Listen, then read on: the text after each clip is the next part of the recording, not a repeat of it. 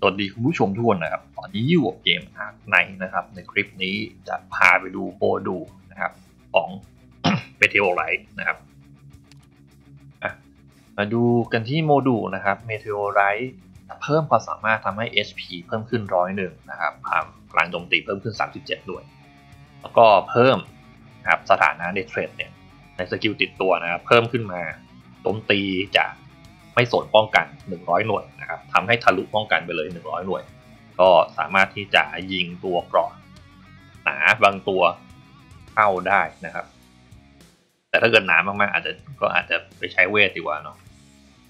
ทีนี้นะครับมาดูที่วิธีปลดล็อกนะครับ วิธีปลดล็อกนะครับ ก็จะต้องเอา mission แรกเนี่ยให้ Meteorite นะครับ จัดการศัตรูให้ครบ 10 ตัว ภายในด่านนั้นนะครับห้ารอบ ก็คือลงด่านหนึ่งฆ่าให้ได้สิบตัว แล้วก็วนไปเรื่อยๆนะครับ จนครบห้าครั้ง ต่อมานะครับด่าน mission ที่ 2 ให้ลงด่าน 2 4นะครับ โดยที่มีเงื่อนไขนะครับ ต้องมี Meteorite แน่นอนนะครับ แล้วก็มีตัวละครที่ลงได้ก็คือ vanguardแล้วก็ medic เท่านั้นนะครับ ก็คือเอา vanguard มา มาบล็อกทางได้ แล้วก็เอา medic มาอยู่ช่วยได้นะครับ ซึ่งจำนวนจำนวนที่ deploy ได้ไม่ได้บอกนะครับ อาจจะใช้เยอะกว่าตัวละครเยอะกว่า 3 ตัวได้นะครับ แต่เดี๋ยวผมจะพาไปลงให้ดูของผมจะใช้แค่ 3 ตัวเท่านั้นนะฮะเดี๋ยวไปเจอกันที่ด่าน 2-4 ครับผมมาที่ด่าน 2-4 นะครับ ขออนุญาตเป็น practice เหมือนเดิมนะครับ ผมอยากเสียค่าสมอง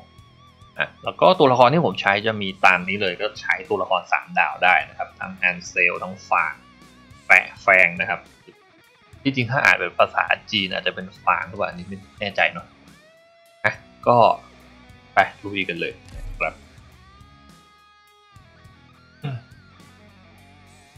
มาถึงลง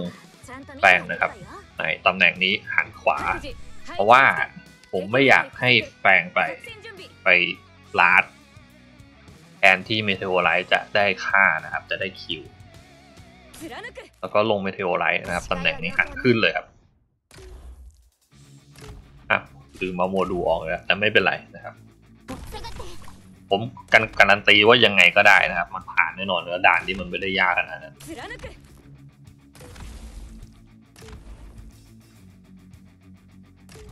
ก็ตอนนี้แหละคือเซตอัพทั้งหมดนะครับของด่านนี้แล้วก็ปล่อยไหลได้เลยครับ อันเซลก็ยังไงก็ฮิวทันนะครับ ตัวละครศัตรูด่านนี้โจมตีไม่ได้แรงครับโจมตีเบามากเนื่องจากเป็นเป็นด่านแรกๆด้วยมั้งด่านต้นต้นเกมเลยแต่ไม่มีไม่ได้มีผลอะไรนะครับ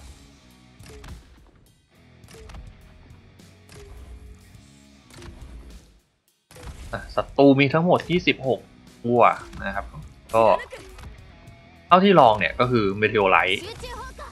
ก็บหมดเกลี้ยงเลยนะครับ เกลี้ยงจริงคือไม่ไม่เหลือไม่เหลือมาถึง Fang เลยนะครับ เพราะงั้นถ้านึกไม่ออกว่าจะไปลงด่านไหนเนี่ย คุณสามารถลงด่านนี้นะครับ ให้ครบห้ารอบไปเลยก็ได้สำหรับ mission แรกนะที่ต้องฆ่าสิบตัวให้ได้ห้ารอบนะครับก็จะวนด่านนี้จนครบเลยก็ได้ ซึ่งผมก็ทำอย่างนั้นนะ เนื่องจากผมก็ขี้เกียจขี้เกียจไปหาด่านลงนะครับ อะก็จบกันไปครับสำหรับ